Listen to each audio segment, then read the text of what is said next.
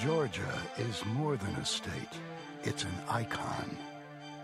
Larger than life. Land more grand and gorgeous than any state should possess. People bigger, more industrious and successful than any other place in the world. Georgia's political heroes have been just as big, influencing not just Georgia, but our country and the world. Names like Paul Coverdell, Richard Russell, Bo Callaway, and Sam Nunn. Men whose hearts were right. Men who put people ahead of politics and party. Because of that, Georgia grew and prospered. But in recent years, the prosperity has faltered. Jobs are lost. Traffic snarls. Growth has raged. Public education is a myth. Much of Georgia has been left behind as Atlanta swells ready to bust her seams. Where is today's political giant who let this happen? Who let our beloved state collapse by abusing his power to keep himself and his party in office? Who is this man who put politics ahead of the people? Many just call him King Roy. Governor Roy Barnes seemed to mean well at first. Then it seemed the power of the Gold Dome just went to his head. He forgot the people. This wily old trial lawyer just thought he knew better than us on any subject. He blamed our hard-working, underpaid teachers for the problems in public education instead of the real problem, his desire to rule from Atlanta how every classroom in the state should operate. While he's created more traffic management bureaucracy than you can shake a stick at, has the traffic in your neighborhood gotten one bit better? He even decreed what our new flag would be, and suddenly it was flying without us getting to voice a word. Then, solely to keep himself and his party in power, he's divided our neighborhoods through a forced redistricting that has torn our state apart. As the power of the gold coursed through his veins, King Roy Barnes hmm. made promises upon promises and kept hardly a one. There's a new day dawning just over the horizon in Georgia. It comes in the form of a quiet, humble man born and raised in Bonaire outside Macon. His name is Sonny Perdue. Well, well, well. How in the world y'all today? How you doing? Who you got here? Hey, buddy. Well, what y'all hear about politics? I heard a fellow, Bonaire fellow was running for governor. You ready to make it? Shoot. I think so.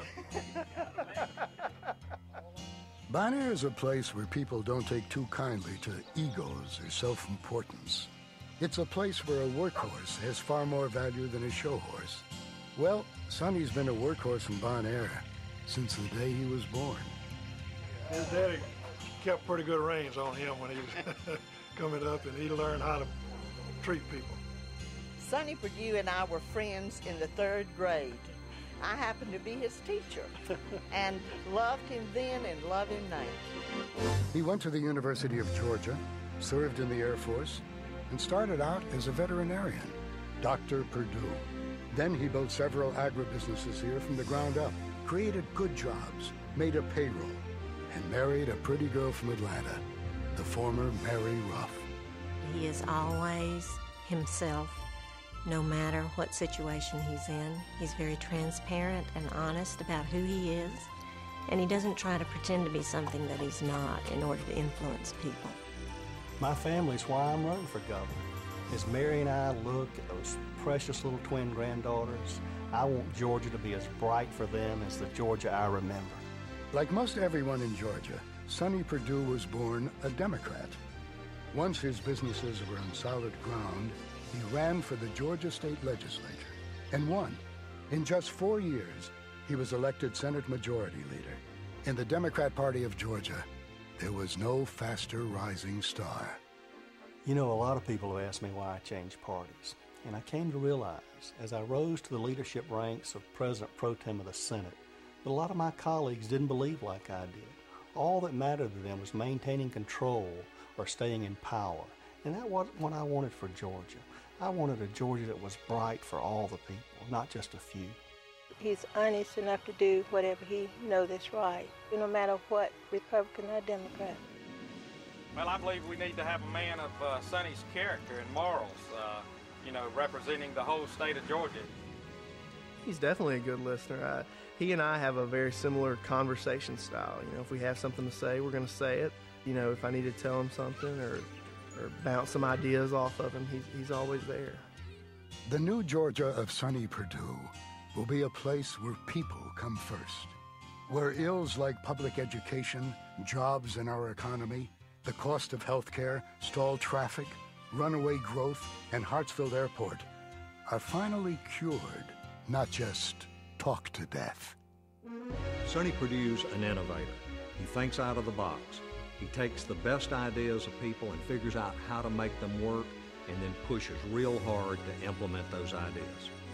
Why don't we take some of all this money we're spending now and work with private enterprise to build out a high speed, universal internet access for all of our citizens in Georgia, where every child could have access to a world that they may have never imagined before, where people could work at home. They may live in Clayton or Brunswick or Dalton or Valdosta, anywhere in the state, and work for a company in Atlanta. That way we could disperse the economy while reducing the traffic in Atlanta, and all of Georgia would benefit. Recently, the economic slowdown has cost me and hundreds of people like me my job. I understand that since Roy Barnes has been governor, we've lost more jobs in Georgia than any other state. Governor Barnes is up there in his big mansion in them filet mignons, and he forgets we out here in the working world eating pork and beans. I've got a job, but it's different from the one that I've had for the past nine years. I was a public school teacher. When Roy Barnes started blaming teachers for his failed educational reform, I moved to a private school. One obvious answer is to move education decision making away from Roy Barnes and his newly created bureaucracies and back to the local level. Get it out of Atlanta. Roy hadn't proven to me that he's much of a teacher. Sonny Perdue is going to win the election in November. He's going to defeat Roy Barnes, and he should. He's going to defeat him because he's a good man and can govern this state. He's not arrogant. But the real reason is the people of Georgia who voted for Roy Barnes four years ago are not going to do it again. He's someone anyone can vote for. He's sharp as a tack, and he's not from Atlanta. He's a solid Republican, but he knows the other side, and he's running against someone whose chronic abuse of power has even turned off his safe votes. All you got to do is travel this state and you hear it everywhere. Sonny Perdue is going to win and beat Roy Barnes in November. When you spend your days and nights being shifty and crafty and finding new ways to trick the people to stay in power, the people eventually find out. Hmm. The days of King Roy Barnes are over. There's a new day dawning in Georgia. The doors to state government will be flung open to the people. New ideas will be encouraged and rapidly implemented. Schools will flourish, traffic diminish.